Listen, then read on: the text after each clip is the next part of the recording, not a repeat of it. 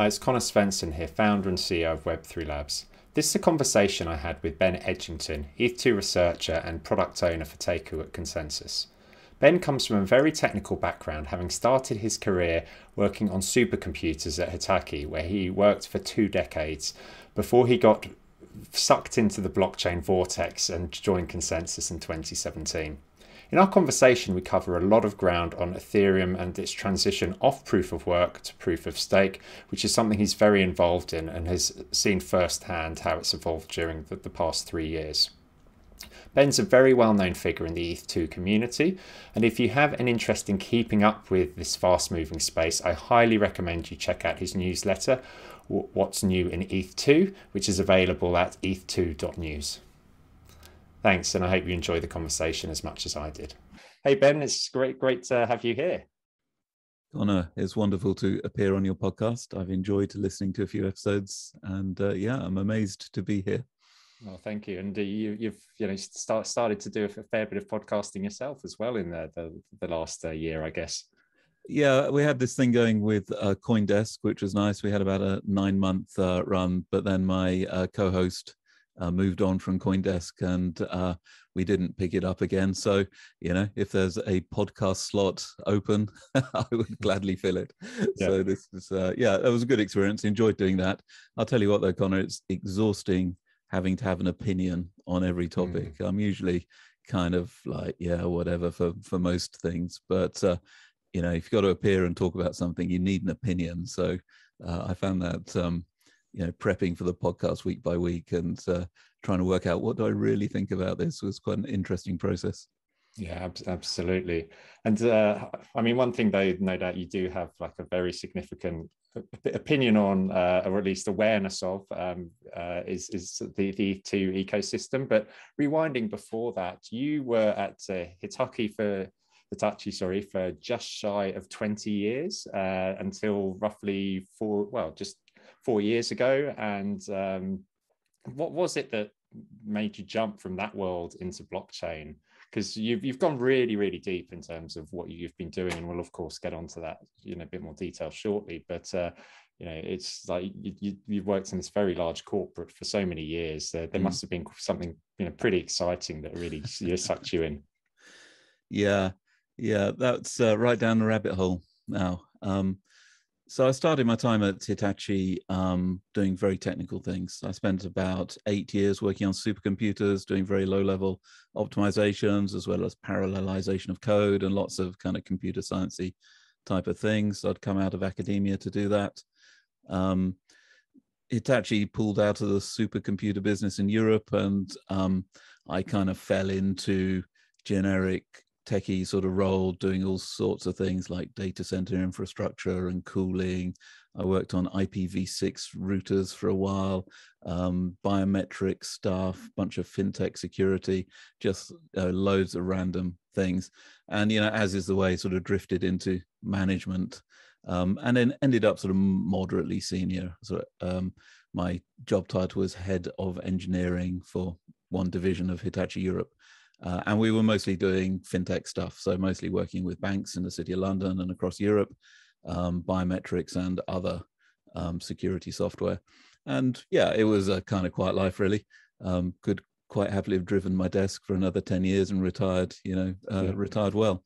Around the beginning of 2016, uh, all the sort of uh, salespeople were coming back and um, and reporting, yeah, all our clients want to talk about is something called blockchain. Can you can you find out what it is? Um, they were talking to the banks, and it was hot, hot, hot at that at that time. Uh, so I I did a bit of digging, came across Bitcoin. Um, thought interesting, but not that interesting. Um, read up on Ethereum and was just blown away. I just yeah, this this caught, captured me. It was you know entranced me. Um, and just started spending evenings, weekends, every spare hour, just uh, reading everything on Ethereum, learning everything about Ethereum, uh, hacking around with smart contracts, and just generally learning, you know, reading the yellow paper and learning from the the, the bottom up. Um, and uh, yeah, eventually I got the opportunity to to make that a full time job. Um, I realized I was bored of management wasn't for me. I needed that. What excited me was doing the hands-on techie stuff, um, and in the day job just didn't give me that that opportunity anymore. So uh, that's um, yeah. So four years ago, as you say, uh, I joined uh, ConsenSys, and no regrets. It's been incredible journey. Yeah, and so, so much has happened in that time. It, Going going back to Ethereum specifically, though, what would you say was the thing that pulled you in? Was it the technology or the community, or combination of both? Because there was yeah, they they were the first second generation blockchain, but I think you know from my own personal perspective, I've always saw uh, the parallels with the Ethereum community as the Linux community but without the benevolent dictator. Uh, but I'd, I'd love to hear hear you know your thoughts there. Yeah, um, community is super important and i i made my first sort of tentative steps you know a couple of prs to the solidity compiler and they were so nice to me um, and so welcoming that i immediately felt you know part of the that world and that was great. Um, technology uh, was fascinating. I, what i liked about it was it was all about computing in a resource constrained environment uh, which is what I've done on supercomputers. You don't think of supercomputers as resource constrained, but it, but it is if you can speed up your code by 10% you can save you know a couple of million dollars of hardware. And so there's a lot of pressure to make them perform really fast. Um, so all the same things about memory constraints and you know micro optimizations were happening on the evm but you know what what really captured me was the drama. Um, and I, you know, I was getting interested in this through the DAO hack thing. I mean, the DAO itself was fascinating, and then the hack, and you know, the the the adventure that that was, um, and the drama around it just kind of hooked me completely um, and, and, dragged me in. So it's a combination uh, of all of that, and I still, it is a bit like living in a soap opera sometimes. Um, but uh, yeah, it keeps me engaged. Um, it's it's great. Yeah, absolutely. I, I, remember going along to a um, Ethereum meetup uh, back in Sydney a few, a few, I think it was a few weeks literally before like the DAO hack happened, and uh, the person there was talking about how you know this incredible thing's been written in so few lines of code, and it's basically like an automated investment vehicle, and yeah, we know what happened then. yeah, yeah. I I never invested in the DAO basically because I didn't really get it. I just I like to understand what I'm uh, getting involved with. Um, I don't like to ape into things to my detriment, it turns out. But uh, um, but yeah, I dodged a bullet on that one. But yeah, it was it was fascinating. Yeah, yeah, and uh, so certainly with the, uh, the, the NFT market now as well. I'm uh, yeah, that definitely doesn't make too much sense there either in certain respects. But there's some people who really do get it out there. Yeah. Um, yeah, I mean, it's fascinating how it's all evolved over the past four years. I reckon that when I first got interested in Ethereum, you could pretty much keep up with everything that was happening by spending a couple of hours a day on Reddit. Um, and then you were across almost everything that was going on. Nowadays, it's it's impossible, completely impossible to keep up. There's DeFi, there's NFTs, there's a whole host of stuff at the um, protocol level, which you know I, I, I try and that that's my niche to try and document some of that. Um, and never mind all the other chains, the roll ups, the side chains, and everything happening there. Um, and then you've got the regulatory stuff, and you know it just goes on and on. So um, yeah, one of the things I've had to do over the past few years rather rapidly is kind of close down my areas of interest. I used to try and know everything, and now I know a lot about very little but that very little is very significant, uh, as you know, given, given everything that's happening with Ethereum. And uh, I don't know if, it, it's not really correct to call it uh, you know, the transition to ETH2, so to speak. Uh, I guess it's, it's the whole it's the whole merge as it's being referred to. But you, um, when you started at ConsenSys, you were within the, the protocols division, and then you, you I think it was roughly a year after you started there, you start, um, well, you began putting out uh, what's new in ETH2, which was like a newsletter. And as you said, there was so much information and it was so hard to keep up with it all, even back then.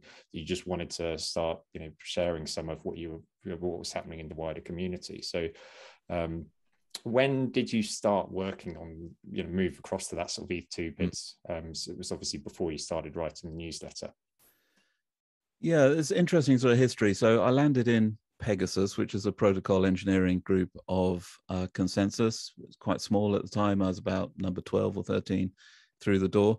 Uh, we're now um, 70 plus people. Um, and I first started working um, on enterprise Ethereum stuff because, you know, with the corporate background and the fintech clients, that kind of made sense but it just felt too much like doing what I was doing before. Um. And it wasn't the passion that had driven me in, which was much more about the open, permissionless um, mainnet world. So I, uh, with the permission of PegaSys, which was uh, very generous, I moved over to really to kind of pioneer PegaSys's um, mainnet work um, there. Uh, at the time, ConsenSys had no relationship with the Ethereum Foundation for sort of historical reasons. And somehow I found myself on a call with Joe Lubin and Vitalik. I think it might have been just the three of us somewhere in January 17 or December 16, uh, December 17 or January 18, somewhere around there. And Vitalik was saying, okay, um, we need some help. We need some protocol uh, research. Um, and uh, and it just felt felt really right, really opportune. So I, from then on, I devoted myself to sort of building PegaSys R and D, um, built it up from a couple of people up to uh, 20 plus now, uh, and a lot of that work was around um, Ethereum protocol research, mainnet stuff, as well as some, some enterprise stuff. Um, so a year into that, yeah, there's did various workshops. There was a, a workshop in Taipei on sharding, which was great, and then uh, we sort of sco- scoped out what Ethereum 2 would look like in July in Berlin of 2018. And late that year, around September, October time, I kicked off the project, which became known as Teku, which is our Ethereum 2 client. Uh, and it was a research project at that time. We, we didn't have a goal to make it a mainnet production client. It was really part of our, our um, being involved in Ethereum protocol research uh, and having a seat at the table. We, we were writing the code. So I managed to get a team together. Joe was a great help in moving people around, and uh, uh, that uh, that was um, worked out really well. Uh, and we we built this thing. Um, and after about a year, so we're up to late 2019. We sort of looked at what was there and thought, actually, you know, this this is okay. Um, this has got promise. Um, it's more than a, a prototype or a, or a research project, this has got potential to become a, a mainnet client. Uh, so we did a big, we have a decision making process um, in PegaSys called SPADE. I can't remember what it stands for, but it involves a lot of consultation with, with just about everybody. Uh, so we did an exercise. Um, Rob Dawson, who's now CTO in ConsenSys, led that, and we we gave it the green light. We gave Teku um, it was called Artemis at the time.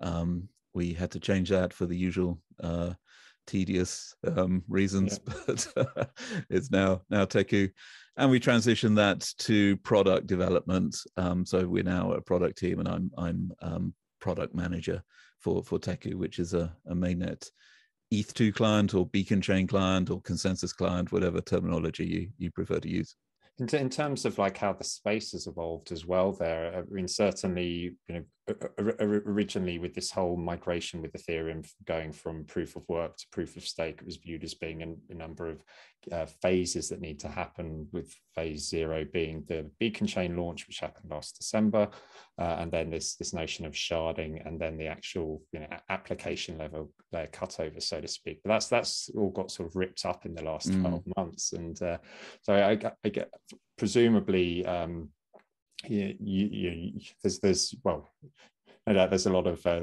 specifics into why that happened that you could tell the listeners about why there was such a you know sudden change there and you know, why we're on hmm. the trajectory we are now one of the things I enjoy doing is stepping back a bit and sort of comparing the world I'm in now with the world that I was in when I was working for a massive Japanese multinational corporate, um, and the the different ways in which things get done. And you know, Hitachi accomplished a lot, um, and uh, no no criticism of of the way they do things, but how things are done in ETH2 world or Ethereum world is is very different. Um, very bottom up. Um, it is a lot of cat herding. We have the Ethereum cat herders, and uh, um, we're reliant a lot on people coming up with new ideas, coming into the ecosystem, bringing ideas, taking leadership without necessarily having leadership conferred on them. Um, and there isn't the sort of hierarchical top-down um, structure. You know, Vitalik will come up with some ideas and he'll throw them out there, and then it's up to people to pick them up or not pick them up, um, uh, and and things like that. So it, it, is it's the cathedral and the bazaar model, which I've written about a, a few times. This is Eric Raymond's kind of classic essay on open source development, and and we're fully in the bazaar, and it's noisy and it's chaotic, um, but yet somehow really incredible work emerges from it as it as it becomes ordered and um, uh, order emerges from chaos. So yeah, it's fair to say that the the next generation of Ethereum the the future of Ethereum roadmap has had a few pivots over the last couple of years, um, partly because new technologies and new things come to light. So so two things which kind of deflected us from the older roadmap. So we had a phase zero, phase one, phase two roadmap where we would deliver the beacon chain, which we did, uh, and then we would deliver data sharding, and then we would deliver executable shards, ex- execution environments, and after that, we would turn off proof of work and move migrate Ethereum one over to Ethereum two, a sort of multi-year project. This this got truncated, so we delivered phase zero, and now we're doing proof of stake straight away. This is the next thing we're doing, and after that, we're doing data shards, and then we're sort of basically have delivered the roadmap. And a couple of things changed that. One was the emergence of rollups as a technology, layer two technology on Ethereum. So they give us a lot of what executable shards would have given us. They they take out of the protocol layer the management of state and the management of execution. They just rely on the protocol for data. So the on chain you have the data, off chain you have the execution and the state management. And, and that solves a lot of problems for, for Ethereum. Um, we can store data on chain okay, especially when we've got lots of shards it was the state management and the and the execution that were expensive. So this, this roll up ecosystem that's emerging, um, yeah, makes um, makes a lot of uh, important parts somebody else's problem, which is which is nice from a protocol developer's point of view. We can simplify the the base protocol, and then um, it facilitates an ecosystem where people can run many many experiments and have you can have many different types of roll ups, and some will succeed, some will fail, uh, and you can try and iterate many different solutions. Just stuff we cannot do at the protocol layer. We have to be really, really conservative at the protocol level. Um, we, it, it's impossible to break anything. We, we mustn't do it. So, uh, so that's been a, a, a, big breakthrough. The other one was um, my colleague in ConsenSys R&D, Mikhail Kalinin, um, just envis- envisioned what we're calling the merge now, which is we take the Ethereum proof of work engine, so the ETH1 clients that everyone's familiar with, like Geth or Besu. Um, and uh, we basically just turn off proof of work in them and plug in proof of stake. We already have proof of stake running in the form of the beacon chain. Uh, and um, Mikhail envisaged a very straightforward way to do this. And so this has become the plan. And the pressures were on, right? I mean, um, the narrative around proof of work is getting increasingly sort of toxic. Um, this thing about NFTs are destroying the planet and burning down the rainforests and things. And um, yeah, it's about time we deliver proof of stake. It's been too long.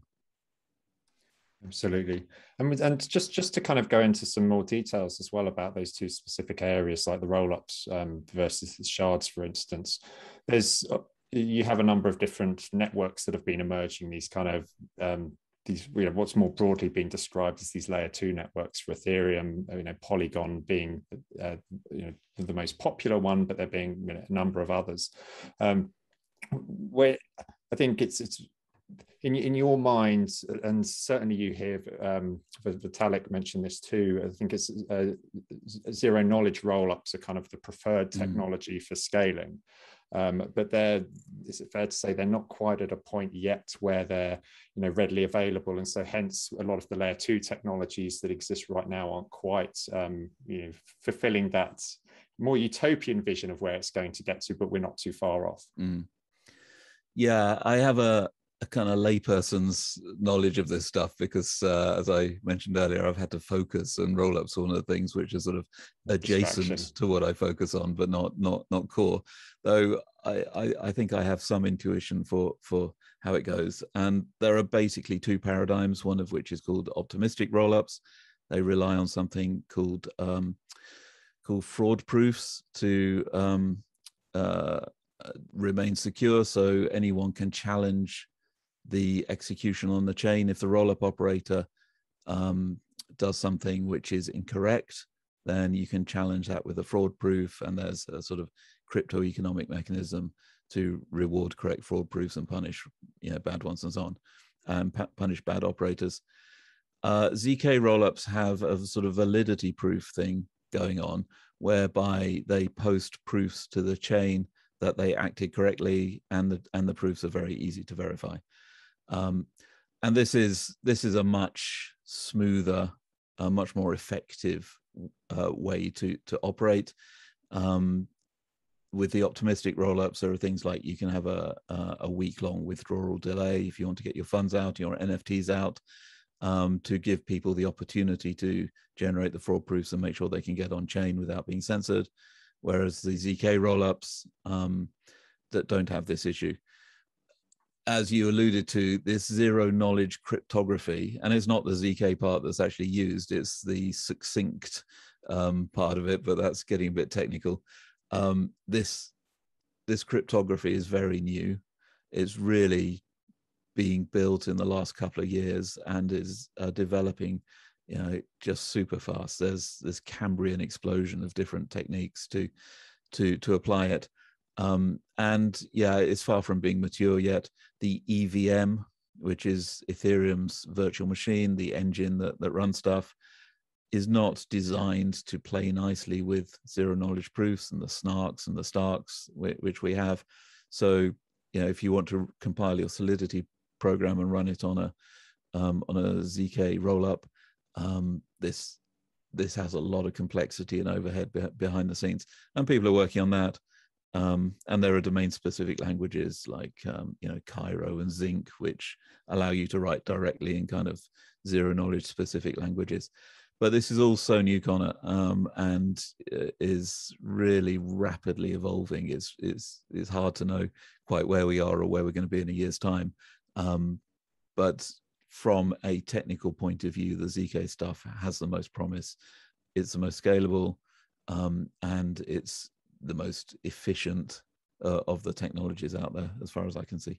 And then um, when we talk about the convergence with the merge with the, the ETH1 mm. and ETH2 um, clients, how, how will that kind of pan out longer term? Because nearer term, you, you have your various different uh, clients, Teku and Besu, say in ConsenSys mm. is the case for um, the, the, I guess, um, proof of stake and proof of work networks. I'm trying to avoid using ETH one, ETH two. And um, you don't you, you, don't have to worry about that with yeah. me, Conor. I'm I'm okay. wedded to.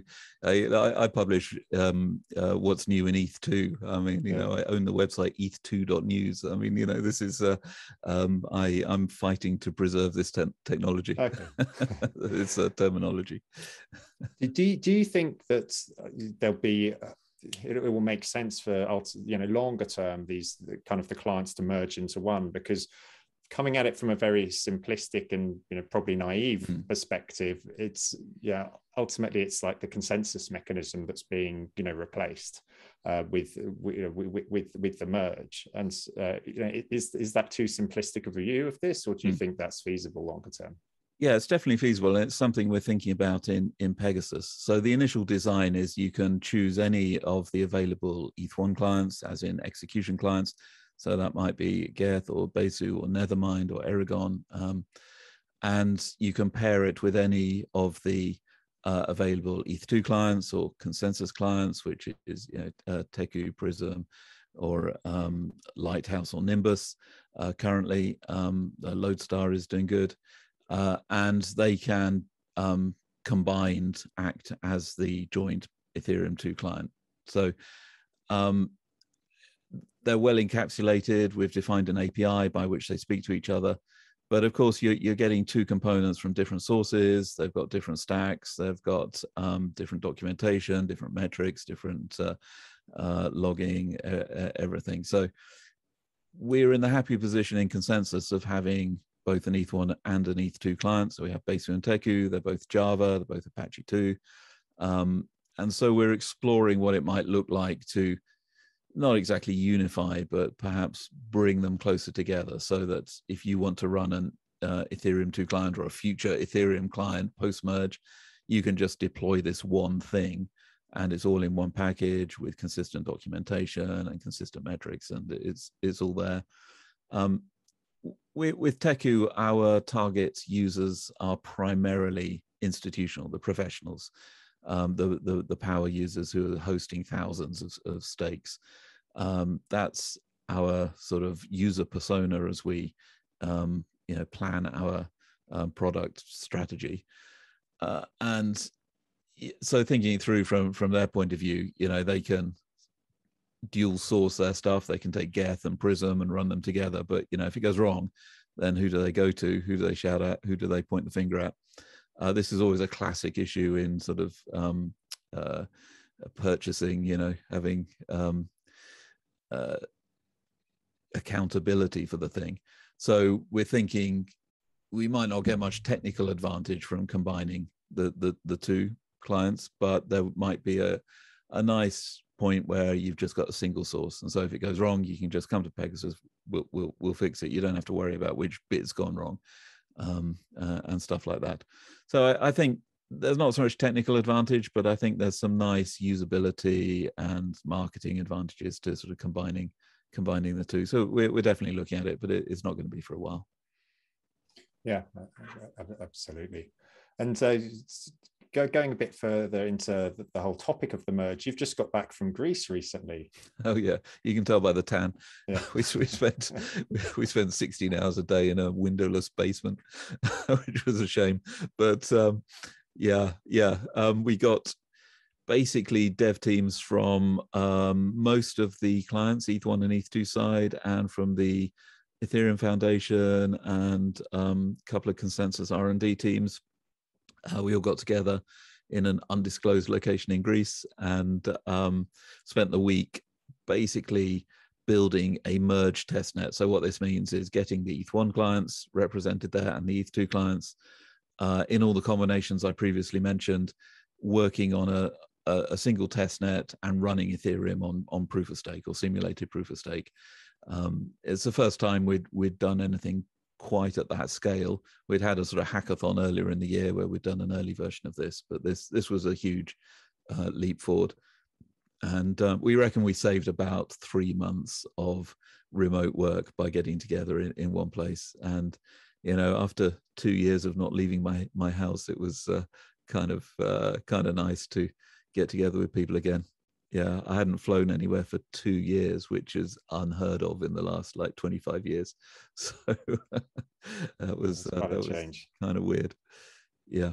Yeah so it was a great success. Um, we set some milestones um, you know fairly easy ones just yeah uh, yeah first milestone pass all the spec tests. Second milestone you know run uh, your client with one other client. So if you're running an eth2 client run it with one of the eth1 clients um, and vice versa. And then we milestone three is kind of run combinations. So you've got multiple clients on the same network. And then I can't remember four, but five was run a test net with basically all possible combinations uh, and keep it running for several days. Um, so we did that. And uh, yeah, it was it was great, really good experience. And pre- previously, of course, there's been times where the where client teams have got together, but I think presumably it's the scale though of it this time around was different because you had both ETH1 and ETH2 as well as uh, some you know researchers around it. So correct me if I'm wrong, but previously it was more you'd have ETH2 focus teams working together, say. And yeah, yeah, these things have been developed pretty much in parallel. Um, so the beacon chain and these sort of ETH2 plans have until quite recently been done um, quite distant from the the the historic Ethereum network stuff. So until a couple of months ago, this uh, Ethereum 2 or Ethereum on proof of stake just hadn't even been discussed at the regular all core devs call. Um, and we we started this beacon chain uh, almost a year ago, now running proof of stake and so on, but it, is in parallel to the main Ethereum network. And, and the two sides, you know, the, the traditional Ethereum 1 developers and ETH2 people really didn't have much point, point of contact. Uh, that's all changed, and this this workshop we did was the sort of tangible, the the uh, practical um, evidence of the change. But uh, you, we, are also getting the proof of stake, the merge discussed on recent uh, all core dev schools, and now uh, everyone has agreed from all the client teams, ETH1, ETH2, this is the next thing we're doing. We're not going to do any other upgrades to Ethereum before we deliver this this merge, this proof of stake um, Ethereum. And in terms of the, of course, the, the, the question that everyone's asking is around when that's going to happen. And previously, as in you know, I think six months ago or so, the, the speculation was towards year end this year, maybe Q1 next year. Is there a sort of you know feeling from the community on, on that at the moment? Uh, within this year was always over optimistic. Um, the yeah, timing is very slippery in this space, Conor, and I'm I'm very hesitant to say anything uh, definite just because nobody is in control of it, right? And if everything goes perfectly smoothly, um, and yeah, there are no hitches, and all the governance is is happy, and there's nobody in the community say you know waving a red flag, then um, you know maybe um, towards end of Q1, beginning of Q2, but realistically um, it never goes as smoothly as you hope. And we are a community of optimists. We wouldn't be doing this. Uh, we wouldn't be aiming to change the world if we weren't optimists. Uh, sometimes kind of feeds over into our timing estimates. So I'm hesitant to put a um, uh, a definite date on it, but uh, I would be extremely disappointed if we didn't deliver in 2022, and I'd be a bit disappointed if we didn't deliver in our first half of 22. So that that's pretty much as specific as I'm prepared to get. Yeah, yeah, yeah. No, it's uh, it's, it's it's certainly exciting times, and especially seeing the two communities really working together. And like you say, mm. there's there's not going to be any other big changes until this happens. Yeah, no, no doubt that's going to incentivize a lot of people to to make it happen in as timely and but safe manner as as possible. Mm. So, say if uh, you know we catch up again, uh, you know, a, a, year from now, and the mergers happened. I mean, what's what's next? What's going to be next for you? Is it are you going to be you know deep looking at sharding, or are you going to be starting to switch your focus somewhere else? Because you you've been so focused on this for so long now. Oh, personally, I mean, yeah, the the ETH two effort rolls on. I mean, so there are plans to um, do a post merge cleanup, which will enable withdrawals. So currently, you put down a stake you, you don't know when you're going to get it back. Um, we haven't, you know, nobody can actually take their earnings out of the beacon chain yet. So we need to enable that. Uh, that'll come a few months after the merge. Uh, then sharding is the next big thing, which gives massive scalability. And then there's a whole bunch of other exciting stuff. So, you know, there's a whole career to to be had um, being involved uh, in that. Uh, we'll we'll see how it goes. I yeah, I've got no um, particular expectation there's a certain amount of internal encouragement within ConsenSys to sort of pick up again the um, the sort of um, management um, corporate side of things. You know, I've got 20 years of it under my belt. Um, so getting involved in the more sort of corporate level stuff, especially as ConsenSys is becoming a um, looking more like a traditional software company, is attracting some serious investment and um, you know, is is becoming a big player. Honestly speaking, between you and me, I hope nobody's listening. Um, yeah, I'm not overly excited by that. So I'm, you know, uh, lesson learned. The the the techie stuff is is where my heart is. So I'll probably find something um, like that to to uh, uh, fill my time but it's but it's also like a, I think a classic problem um, in terms of as career technologists, so to speak. Um, mm. You know, with with regards to being able to remain hands on, but also grow within organisations. Uh, I think that you almost see this this classic thing where if someone starts off as a developer, they become a mid level developer, senior developer, then maybe a lead developer, and then it's management and management and management and management. And it, you know, if you're very lucky, you end up in a, a place where uh, you, you have that. And I, I remember working um, for an investment bank a number of years ago. We were in a fortunate position for a time where we had managing directors who were still coding, but that was you know really an exception to the norm. Mm. Um, and I think you know, as as you say though, there's I think there's there's so many people you know like yourselves, like people who you know work in my company as well, who really want to stay very hands on. But you do feel a lot of the time that um, organisations, as they grow, they often you know, have that classic problem where mm-hmm. they're the, the opportunity to continue to be hands on and this isn't a, you know of course re- reflecting it on ConsenSys but it's just more you know an, observation about the mm. technology mm. industry more generally um, and so i think it's really important that we can find ways to champion you know people to have you know careers like you know like like you're doing now where you've, you've come in and um, you've got all of this significant experience but also very you know significant breadth of technology technological experience um, and you want to you want to see people have um, I, th- I, think it's important for the technology community to have more people to look up to like that. Mm. yeah it's a classic dilemma isn't it? And you know i don't have any great answers. I'm i'm very thankful for ConsenSys, um, you know, facilitating me over the last few years. Um, largely, I've you know carved out my own path and have been allowed to do so, which has been um, been terrific. I I don't think in more traditional organisations you don't necessarily get the opportunity to do that. Um, there's been a huge amount of support, uh, and you know I I think other people are, are, finding that as well. We have a lot a high degree of autonomy within the company. Um, and yeah, I've learned to to really value that. Um, yeah, I, I I don't have answers to the, the, questions of what do you do with elderly technologists, but, but uh, what I am convinced is that people are most productive about uh, when they are excited about what they work on. And you know, I tried to get excited about management stuff, making powerpoints and things, but ultimately it didn't it, you know, it didn't get me out of bed in the morning. Whereas, um, you know, uh, things that I do now um, motivate me enormously. Yeah, and you can completely see that when it's moving at you know, such a rate, and as, as, you mentioned earlier on, the, the the whole ecosystem has grown so much uh, in the in the in the last while.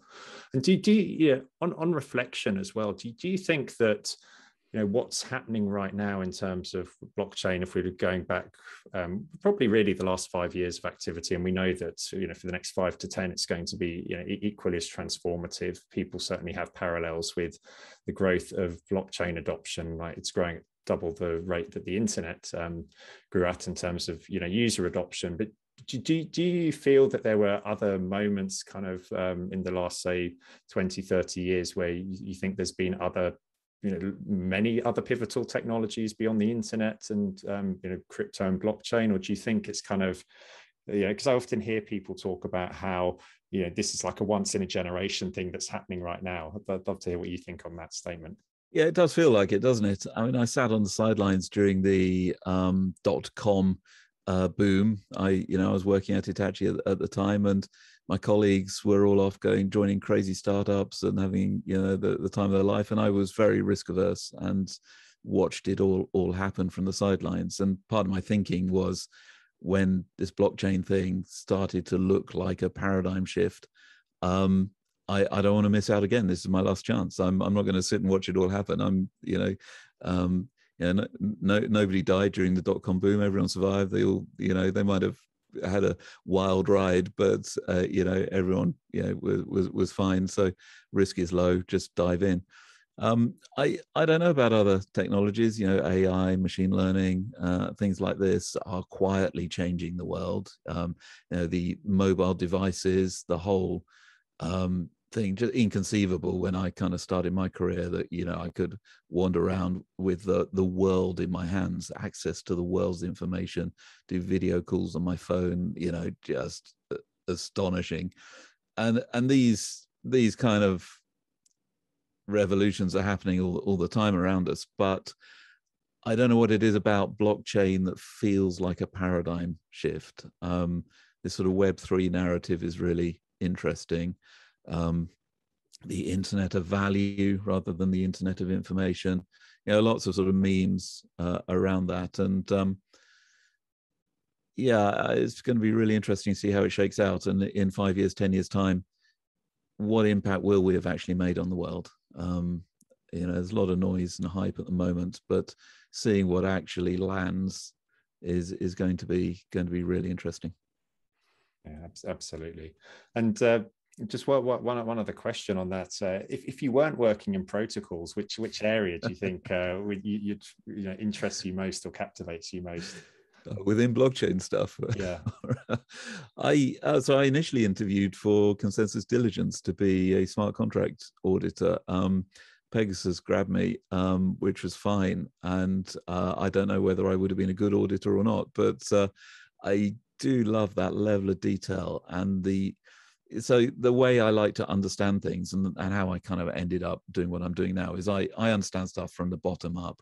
You know, I need to know about the bits and the bytes, about the, the the machine code and the executions and the the packets on the wire and build up from there.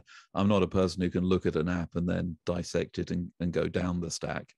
Um, and that's why I have a you know I have trouble with kind of modern computer science where you know they they graduate and they don't even know what hexadecimal is, and I'm like really, um, and so um, that lends itself to the protocol work that that I'm doing now, and also to the kind of smart contract auditing side because it's very very detailed oriented you really have to know what's going on under the hood. You can't make any assumptions. So yeah that I, I don't think I would be a DeFi degen or an you know uh, NFT artist or any, any of that, but uh, um, that that would have been a decent uh, path as well. Either way, you'd be you'd be one of the key people making sure it all works and is secure. So it's uh, certainly very very important place in, in, in those worlds. Um, so if if people want to kind of connect with you and really keep up with what you're doing, of course you've got ETH, the ETH2 news. Um, but what's what's the best way for people to reach out or find you? Yeah eth2.news so i write every two weeks on uh, what's uh, what's new in eth2 that's that's the title. Uh, so it's just a roundup of what's um, uh, going on most fairly technical but uh, occasionally i let let an opinion um, hang loose in there. Um, and i've been doing that for three years or so. Um, you can find me on twitter. I am benjaminion underscore xyz don't ask. And uh, yeah, Twitter's a, a, decent place to contact me if uh, anyone wants to uh, um, get in touch. wonderful. Well, Ben, it's been an absolute pleasure to have you here today. I look forward to catching up again soon. Yeah, great fun uh, talking, Conor. I mean, there's so much that we we could cover, but uh, appreciate it. Uh, thank you for considering me an innovator. I'm I'm proud to join join the ranks of uh, the others that you, you have spoken to and, and, and humbled as well. But uh, yeah, good conversation. Thank you. Thanks, Ben.